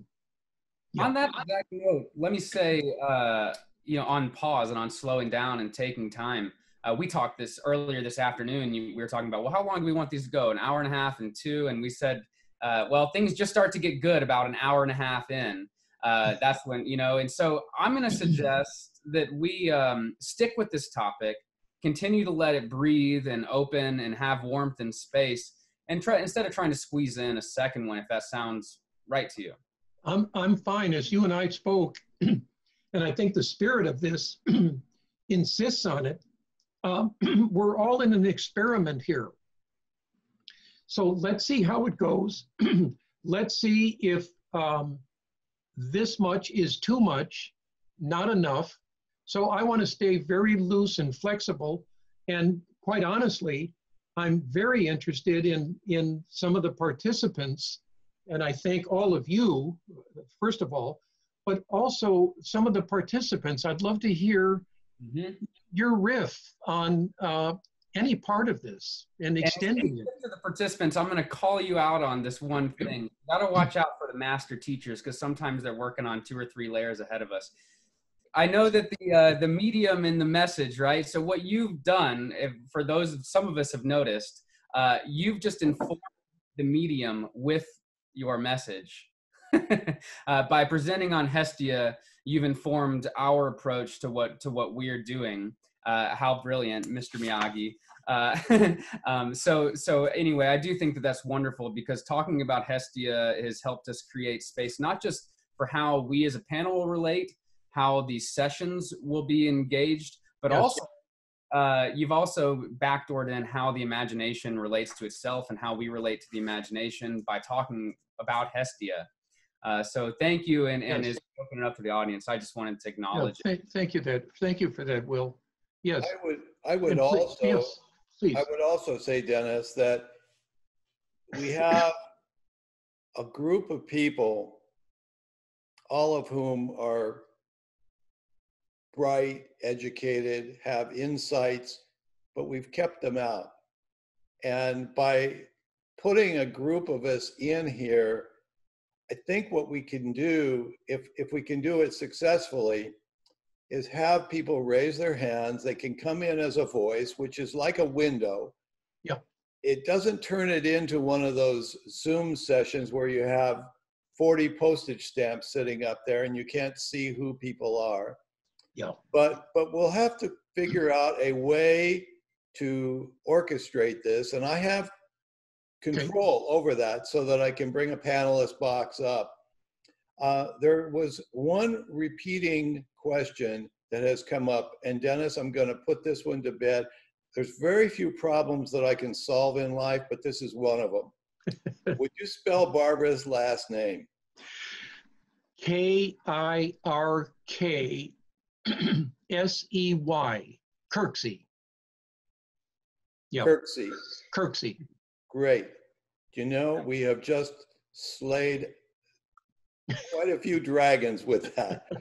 you brought her up, and is that an essay that maybe I could get from you? Oh, oh yes, it's in Facing the Gods. Okay, it's the in edited, Facing the Gods. The edited okay. volume of James Hillman. It's a beautiful uh, volume. Uh, I didn't pull it off my shelf, but I think there are seven essays. Artemis, Athena, Hestia, I think Dionysus. Anyhow, it's it's just a gem that that uh, James Hillman, of course, invited these different people uh, to uh, submit. And I remember Barbara, she was a year behind me. Uh, I started in 1972 on the doctorate at Mhm. University of Dallas. She came in in uh, 73, and she was a brilliant student, and I got to be good friends with her. And so when I saw her name in the essay in the collection, I thought, well, I'm going to see what Barbara, how Barbara's been thinking about myth and archetypes, and it, what a treat. So she she was my foundation for what I presented to all of you uh, this evening, and I tried to give her credit at every point that I was pulling uh, from her work. Yeah, she's she's Great. and and I've tried to contact her, not any luck, and I don't know if she's done any other publishing, to be quite honest, except for the dissertation. I will- I will locate her work and uh, maybe make a copy of it and make it available. It'd be Uh, beautiful. Yes. Our first guest from the gallery is Edward. So if you have a question for Dr. Slattery or any of us, uh, go for it. Yeah. Dennis, this is Ed Smink. Thanks. Oh, Ed, I recognize your voice. Glad you're Yes. here. Uh, thank you so much. I'm um, I'm very interested in in how Hestia is an, an attitude of the soul, and what came to mind for me was the um, classical understanding of discernment. So, using the word focus, I'm, I'm wondering if you could also entertain to to discern to discern what is what the soul is asking of you, and also uh, both personally and both individually. And it's it's a classical understanding of Ignatius of Loyola to of uh, uh, with the concept of discerning the spirit. What is the right spirit to act out of? So Yeah. um, that's my uh, uh, question. Also, how you tied in hospitality, and and not only the the sense of uh, the, the the host with the guest, but also the re, also the understanding of what happens between the host and the guest, and then also what happens interiorly because of that action. That's the that's a new understanding I learned in in the research I did for my book that you Yes. um, helped me um, articulate. Thanks very much. Yes. So Ed is the author of The Soul of the, Ed, help me, The Soul of the Caregiver or The Soul of Caregiving? Oh, maybe he can't hear me now. Yeah, so I worked, uh, I chaired his dissertation and his, his life has been spent uh, as a caregiver uh, professionally. Um, geez, he tossed um, a number of things out there. Uh, let me let me pick it up where uh, I intuitively feel I ought to move to. Um, I spent four and a half years writing this book, From War to Wonder, recovering your personal myth through Homer's Odyssey, and it was published uh, last the last week of December of 2019. And um, it's it's on the uh, its uh, structure is on the order of day-to-day Dante and our daily breach, one page per day for 365 days. So maybe eight to nine lines from the Odyssey um, per page. Um, what I noticed in doing that was something I hadn't noticed in teaching it over many, many years. and that is the way that Homer understands the fluid nature of the guest and the host. So that in conversation, um, you, you may host um, a guest speaking, and then the roles are reversed, and the guest becomes the hosting of your speaking. So it's fluid, it's reciprocal, it's hospitable, and it leaves space for the voices of the two. And of course, it could be uh, more. Um, the piece on discernment enters the Odyssey through the figure primarily of Athena. And she says to uh, Telemachus, in book two. She appears as Mentes um, and is completely ignored because the suitors, obsessed with their own appetites, have no understanding of hospitality. In fact, they would see a stranger coming in as, oh, this is another mouth to feed. And that's going to be less food for us in that kind of stingy, acquisitive, um, uh, super consumer mentality. But Telemachus, who has been taught the laws of hospitality, approaches him because she's disguised as a man and brings her into the house and finds a place for her to sit. And she um, has one question for him Are you open and willing to be taught? If you're not, I'm out of here. If you are, I will tutor you. And at that moment, he becomes a student. And Ed, this is this is a movement of his soul. Now it's so fascinating to watch this act of hospitality be rewarded by this goddess. He doesn't know that she's a goddess, but she begins to school him. And up to that point, he's been a whining 20 year old. And woe is me and my mother and I are victims. Once Athena brushes against Telemachus' soul, in the next scene, he steps in front of the 108 suitors. I mean, this is a gang who do nothing but party and consume all day, and then they go back to their houses. And these are the uh, these are the uh, young um, men of the Aristoi, of Ithaca. These are, these are the well-heeled.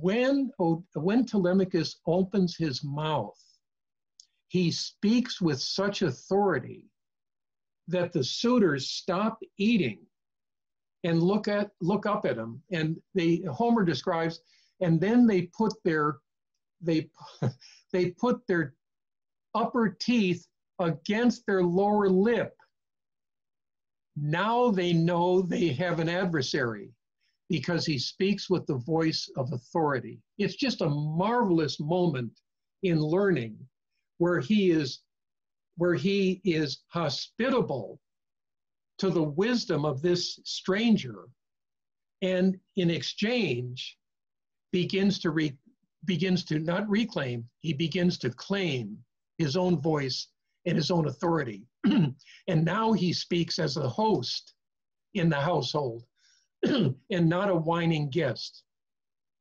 So, Ed, I don't know if you can hear me, but I hope that uh, some of that touches on discernment.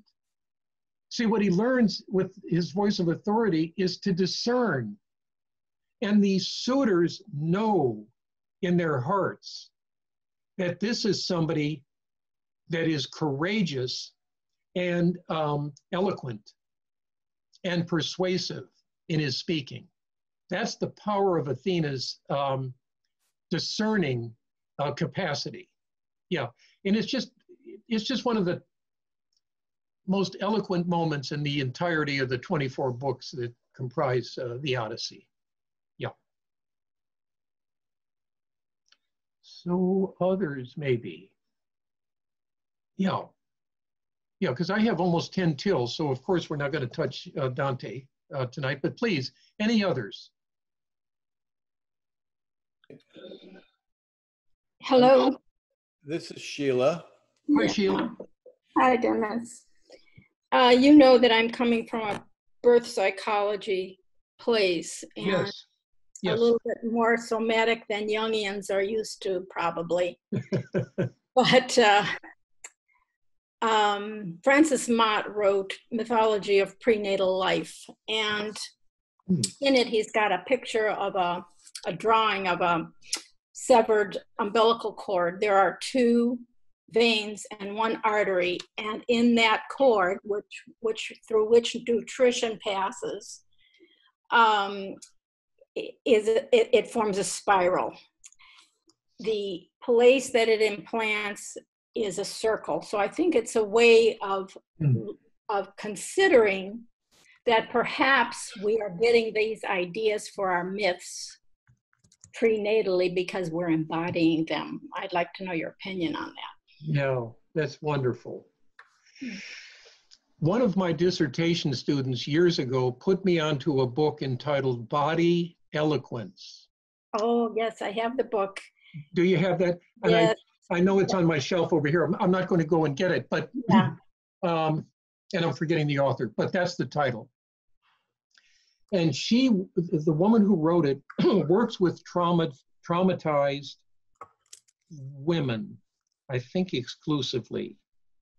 And she came to the recognition that different organs of the body prefer and gravitate towards certain narrative themes. So the liver eh, has one set of themes that it seems to attract. Um, the gallbladder, because I don't have one, I can speak of the present absence or the absent present of it. Each organ is narratively inflected, narratively attuned. And part of her therapy with women, um, and especially, uh, and boy, it's been so many years since I read it, but you you tripwired the title, and I, I know where it is on the shelf. Um, this woman was suffering from breast cancer. So the woman who wrote the book began, I guess, what I would call a narrative therapy, where she began to read to and have this woman read back to her narratives that were, um, I don't want to say compatible, but in tune with um, her breast cancer, which then went into remission. So I, and Sheila, I, you tell me if I'm, um, uh, I lost my guardrails and I'm off track here, but there's something, you know, if if every story harbors a mythology that is shaping the narrative and maybe being shaped by it in a reciprocal uh, relationship, which is what I sense, then um, the plot the plot becomes the transport vehicle. I'm stealing Campbell's language there for carrying that myth deep into the tissues of the body and can affect healing. So Sheila, respond to that to see if I if I got to it at all. Um, yes, I still think though, and you mentioned in your talk many, many times, connective tissue. And the idea is, is that we do not need cognition. This is, we, we get somatized with these patterns of me- metabolic forces that pull and push and twist and shear us, that we remember that Yes. cellularly. So it's not dependent on cognition. And No. um, I love the fact that you mentioned it was uh, Nancy Mellon, I think her name Nancy is. Mellon, thank you. Yeah. Thank Yeah. you. Yeah. So thanks, Den- uh, Dennis, for uh, considering that. Uh, I, I'm an analysand for many, many years. Um, and I've made meaning out of my own life because of my embodied experiences of prenatal memory. Beautiful. Beautiful. Thank you for that, Sheila. We have Do we have time? We have time? for- Yeah, we, we're good. Yeah. Yes. Hey, Dennis, it's Wendolyn. Oh, hi, Wendelin. I'm glad you're part of the group. Yeah, I, I was able to get enough bandwidth to make it. A couple observations and, and a couple questions. Yeah. Uh, the first is that um, for the action of Hestia, I seem to remember, and I'd have to track down the specific references, but I also remember artistically uh, images of Hestia accepting and nurturing a divine child. Oh, okay. So that might will definitely fit into what you have. The secondary concept, I had two questions, but I can merge them in, into one. As you said about the Greek culture, culturally, I see, and I hope you would recognize this as well, that Hestia, as a Parthenos, which is an unmarried maiden, is very different from Vesta, a Virgo intacta. I think that allows Hestia to take more people in Oh, and to be more autonomous. And then also, so that's culturally a difference between the Roman and the Greek. And then you yeah, also, very if you look at- helpful. if you look at the figure of. Agni in Hindu, Yeah. Agni as a male consumes and maybe and on some level transmits the sacrifices, but he's mainly uh, the fire as consumption, whereas Hestia is the fire of warming. And I kind of see that as the Greeks having a heavy survival of pre-Indo-European cultural contact versus what happened by the time the Indo-Europeans reached uh, the, the Hindu state So I just wanted to bring that forward to you in case that you know you could riff off it, or if you think it's helpful. That's all I wanted to do. So I No, wanted to beautiful. thank you for this. That's beautiful. No, that's that's new knowledge for me, uh, Gwendolyn. You gave me a broader, you gave me a broader frame in which to understand her. Yeah, thank you for that.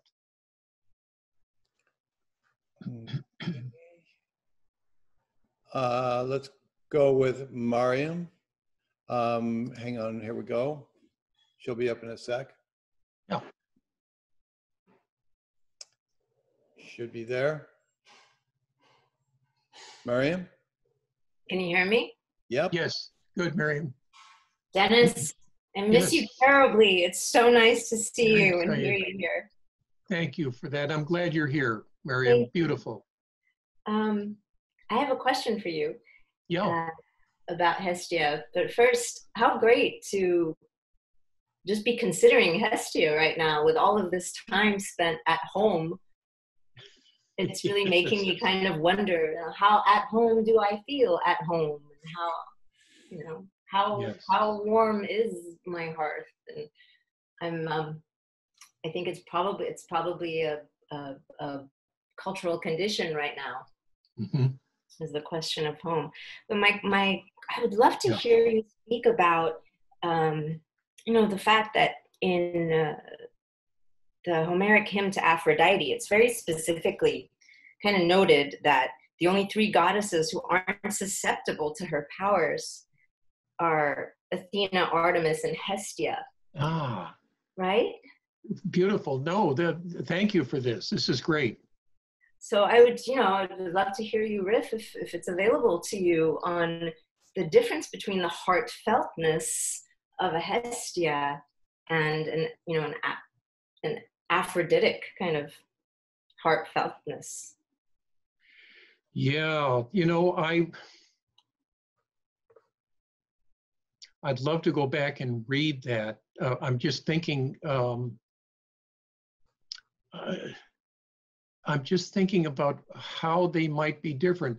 Let me let me toss it back and ask you, because you're closer to that um, hymn.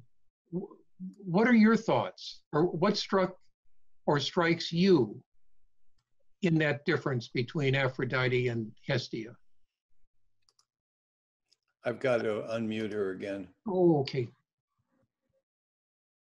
There we go. Uh, Go Yeah. ahead.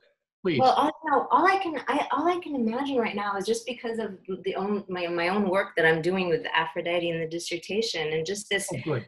Kind of noticing that what that what that means is that really the only only three beings that the only mortal and divine that aren't susceptible to her this athena artemis and hestia that means that they don't require intimate connection like they don't actually Uh-huh. feel any sort of um, that like loneliness and longing uh, and so Yes. r- right i mean i, th- I think i'm So the, am, am I am I am I tracking you in understanding that Athena, uh, Artemis, Aphrodite are, for lack of a better term, more distant goddesses? Or athena Ar- athena artemis and, and hestia yeah they don't they don't yes, Hestia. they don't connect on a on a very personal and intimate level Now that's interesting to me because it seems that Hestia is um, so um, heartfeltly connected to others um, and hospitable to others. So maybe I'm missing something, uh, Miriam.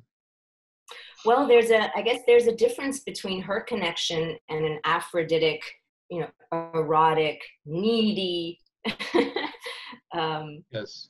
you know, like it's a different, different level of intimacy. And maybe that's why she can connect with so many is because she doesn't, she does have a sense of wholeness in, in herself that doesn't uh, need to reveal to another or have a one to like a real whatever whatever the aphroditic connection is i'm not going to say it's real and hestia's is unreal that's ridiculous but i i don't have an answer I'm just Yeah.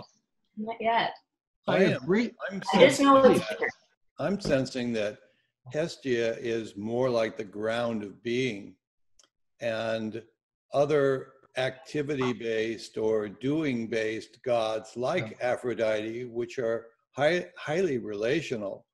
Um, every everything you see about Aphrodite is about that love and strife, Yeah. and and it's the att- attraction principle that drives Aphrodite you know, to Ares and Hephaestus and, you know, these various gods that she has these relations with. But Hestia is always like Artemis, you know, um, a, a very, it's more of a condition, you know, and it's certainly Yes. not, no, you, she doesn't pal around with anybody and, you know, it's just not who she is constructed by the Greeks to be. You know, I, I wanted to mention, uh, and, and hi, Miriam. Yes. Hi, Will. I just wanted to mention to you, uh, that Plato's ultimate form is love, and the highest highest forms are not what we think of when we think of forms, because Aristotle totally ruined us into thinking that a form is of a horse. No, a form is is beyond those specifics for Plato, and the ultimate form is something like love. And Plato bifurcated um, Aphrodite into the universal Aphrodite and the kind of embodied specific Aphrodite. And to me, it seems like you know maybe hestia is much more in line with that universal aphrodite it's more kind of like the love as the ground of being to me seems Yes. very shared between the universal aphrodite and hestia Yeah, I think that's right. And I think she's she's a presence Mm-hmm. of those qualities that Barbara was uh, uh, uh, developing and that I tried to add to. And so it's she's in that respect she's maybe and this is uh, what I was hearing Dana say too. She's more ontological Mm-hmm. than she is existential. I mean, if I could maybe try to use that as a, a way of speaking about her um, not only being grounded, but being ground itself. Mm-hmm. Um, and then off of that come all these different forms of affection, toleration, patience, uh, restraint, uh, the ability to listen, um, the ability to converse. Mm-hmm. Yeah. Yeah. Miriam, I hope that helps uh, even a little bit. there was a question from the audience uh, as you close uh, if there's anything that you recommend they read or any, anything anybody would benefit from reading before next uh, two weeks from now Well, I, I would I would love to pick up on the Dante side of La Vita Nuova, uh, which is available in a very inexpensive paperback. Um, that's something that um, people could read, and I think they would enjoy reading the 41 sonnets that Dante is, lays out as his as his creative life starts to take shape. Um, yeah, and then I think I'll I'll have ready the second essay that I wanted to um, I wanted to suggest, and it's entitled Mimesis Neurology and the Aesthetics of Presence. So the mimetic mode, uh, neurological um, uh, insights, and the culmination of those in the aesthetic presencing of something. Mhm. So that's where that's where I'd like to hit. I mean, I'd like to do the Dante piece, and then we see what the clock is telling us, and then move into that if that would work. I think people can tell that we are we want to bring people into the audience in. We want to bring We, uh, we're just you know we're we just want to balance it the best we can and keep keep iterating and evolving and uh, and if you guys have any feedback or thoughts send it send it my way Yes. And selfishly, I'd love to have all of you return, and I know it's a burden on your time. Um, but I just, you know, selfishly, I'd love to have the five of you back and the participants. you're loading us up with helium balloons Can we go around and Kwame, can you just say something? I love your voice, you know that. Um, just happy to be here, Dana. I, I, I appreciate the invite. I'll be back, man. I'm, I'm pretty sure I'm cool next, um, uh, the following two weeks. So I'm just, uh, Good. yeah, just happy to be here, brother. So thank you, man. Thank you very Yeah. much. Thanks, Uh, Dana. And Dara? Um, yes, Uh, thank you. This is this is so wonderful. I mean, part of what happened to all of us when we left Pacifica, it was like, well, now what? You know. and uh, th- this is, um, um, as someone said earlier, you know, you, you get to uh, chat with your tribe, so it's always terrific. And I, I just wanted to. Um, this is very very short, but um, Dennis, uh, regarding Hestia, had said it said in the beginning that she is the beginning and the end, and um, uh, you know, made me think in our the conversation you were just having about our our inner feminine center, uh, you know, of, of life Yeah. before judgment, and um, there is something um, uh, you've really left me with thinking about. Um, um, in terms of holding kind of inner hospitality, uh, a, a, a, a space for myself um, Yes. to to to um, and I don't mean in a in a selfish way. I mean No, in no, an I- extended way, Yeah. and as a participant of life. And um, uh, it was very very powerful. Thank you. Good. Thank you. Thank you, Dara. Yeah. And how about you, John? Yeah, just great thanks to you, Dennis, for uh, such a, a, a rich talk full of so much um, uh, material that I'll, I'll be thinking about for a long time. Um, I'm really excited about watching for Hestia in the next two weeks um, and, and welcoming her uh, because I believe um, she's going to appear in unexpected ways. And I'm going to really keep my eye out for her. I think she's being welcomed into uh, our space just by our talking about her. So I'm excited to watch for her. That's great, John. Thank you. Wonderful. Yeah. Thank you very much. Yeah. It's Thank you been a all. Wonderful afternoon. And I- I'm deeply appreciative